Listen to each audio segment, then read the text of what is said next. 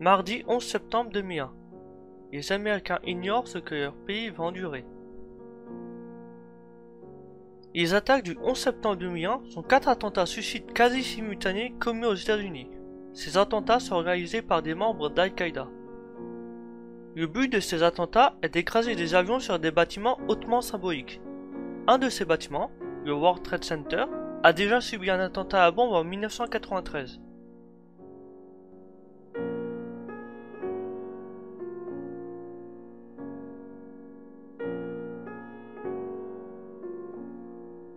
Le 26 février 1993, un attentat à la bombe a été commis dans le parking de la tour nord du World Trade Center. L'objectif était de faire basculer la tour nord sur la tour sud pour ainsi détruire l'ensemble du complexe. Considéré comme un échec, cet attentat a tout de même tué 6 personnes et blessé un millier de personnes. Certaines sources considèrent que cet attentat a véritablement tué 7 personnes, étant donné qu'une des personnes tuées était une femme enceinte. Cet attentat peut être considéré comme un précurseur aux attentats de 2001.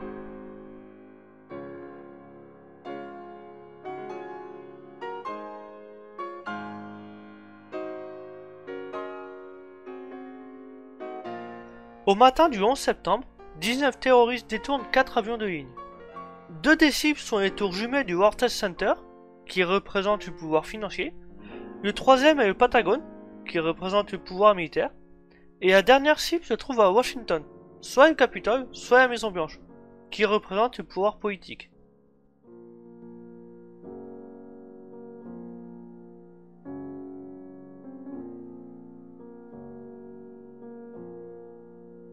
L'American Airlines 11 décolle à Boston à 7h59 avec en son bord 80 passagers et 11 membres d'équipage.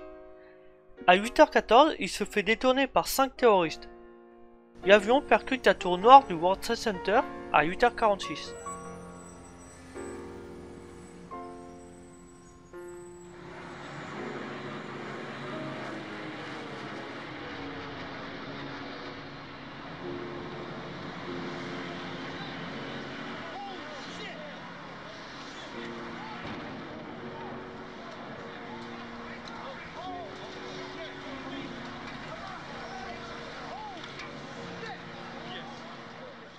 United Airlines 175 décolle de Boston à 8h14 avec en son bord 56 passagers et 9 membres d'équipage.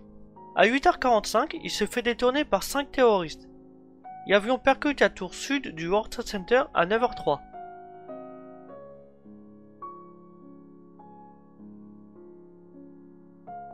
What's this other jet doing?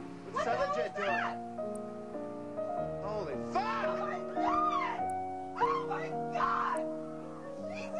Fucking Christ! Yeah, uh, don't touch it.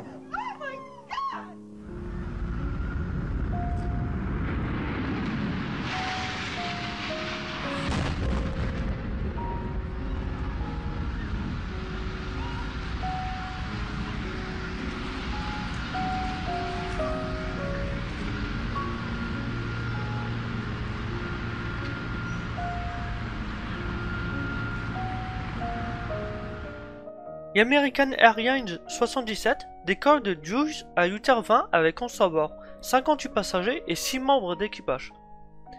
À 8h53, il se fait détourner par 5 terroristes. À 9h34, l'avion fait un virage de 330 degrés pour percuter à 9h37 la partie ouest du Patagone.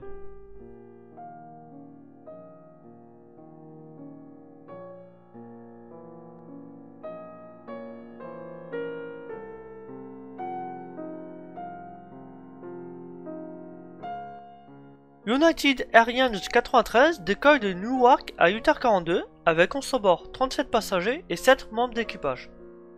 À 9h28, il se fait détourner par 4 terroristes. Deux minutes après, un terroriste déclare à radio qu'il y a une bombe à bord. Ayant appris que deux avions ont percuté le World Trade Center, les passagers décident de se rebeller au péril de leur vie. L'avion s'écrase dans un champ en Pennsylvanie à 10h03. Des 4 avions détournés ce jour-là, Seul United 93 n'a pas atteint sa cible. Selon une source, United Airlines 93 aurait dû percuter le Capitole, et un cinquième avion aurait dû être détourné pour percuter la Maison Blanche.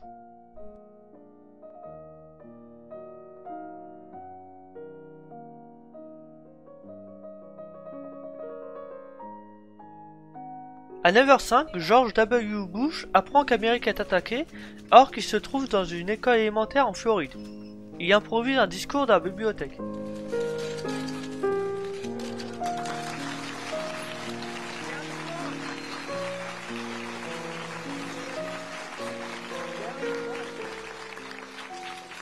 Ladies and gentlemen, this is a difficult moment for America.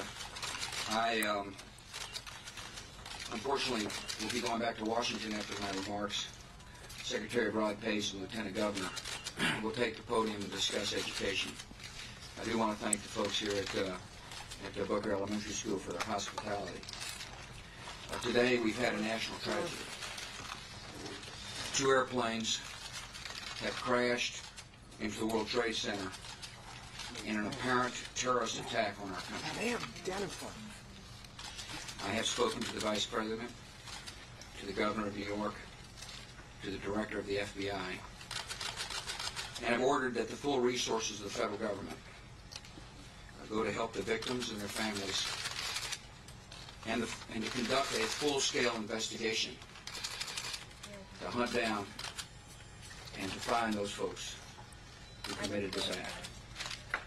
Terrorism against our nation will not stand. And now, if you join me in a moment of silence.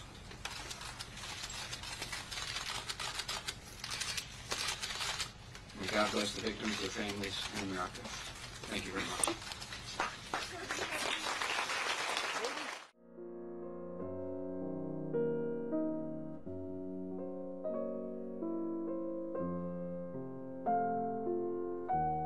À 9h45, l'espace aérien des États-Unis ferme. Tous les avions sont forcés d'atterrir. Les vols internationaux en direction des États-Unis sont redirigés vers le Canada. Aucun vol commercial ne sera toléré avant le 14 septembre. Près d'une heure après avoir été percuté, à 9h58, la tour sud s'effondre.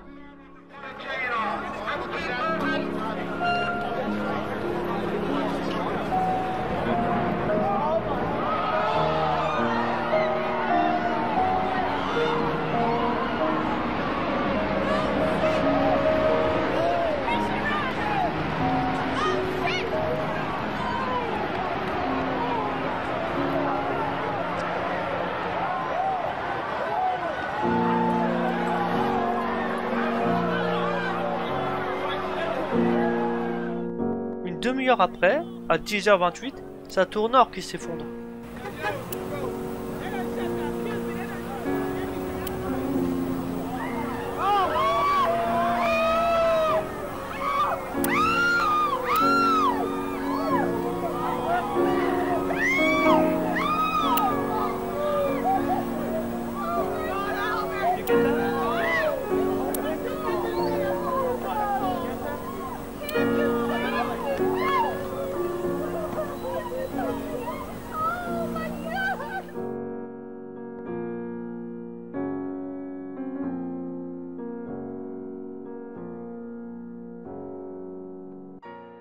Au World Trade Center, il y a eu 2753 victimes, dont 2606 dans les tours, comprenant également des sapeurs-pompiers, des officiers de police de la ville de New York, ainsi que du port, 87 passagers et membres d'équipage du vol American 11 et 60 passagers et membres d'équipage du vol United 175.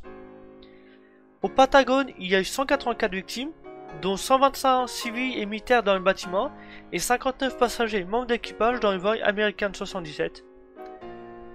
À Shanxi, il y a eu 40 victimes et 40 passagers et membres d'équipage de United 93. Parmi les personnes qui se trouvaient dans la tour jumelle, seules une vingtaine de personnes survivront à leur effondrement.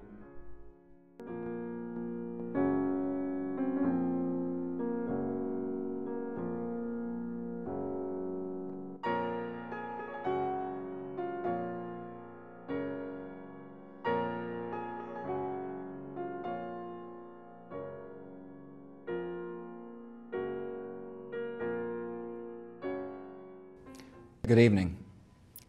Today, our fellow citizens, our way of life, our very freedom came under attack in a series of deliberate and deadly terrorist acts. The victims were in airplanes or in their offices secretaries, businessmen and women, military and federal workers, moms and dads, friends and neighbors.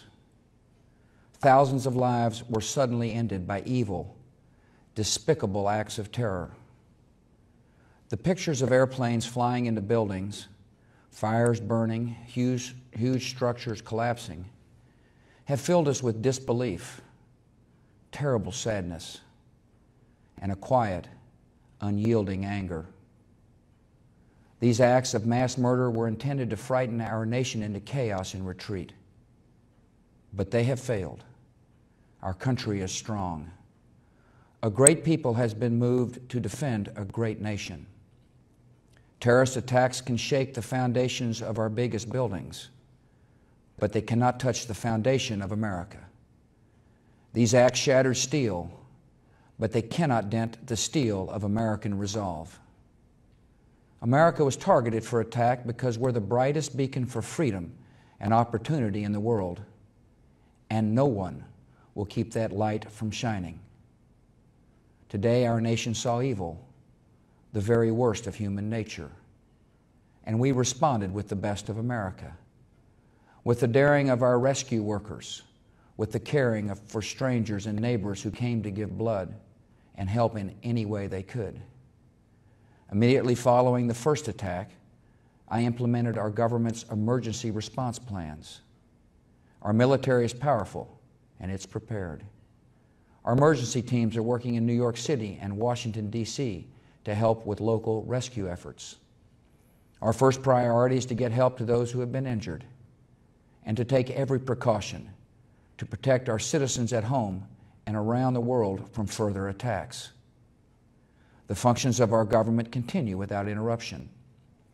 Federal agencies in Washington, which had to be evacuated today, are reopening for essential personnel tonight and will be open for business tomorrow. Our financial institutions remain strong, and the American economy will be open for business as well. The search is underway for those who are behind these evil acts. I've directed the full resources of our intelligence and law enforcement communities to find those responsible and to bring them to justice. We will make no distinction between the terrorists who committed these acts and those who harbor them. I appreciate so very much the members of Congress who have joined me in strongly condemning these attacks. And on behalf of the American people, I thank the many world leaders who have called to offer their condolences and assistance.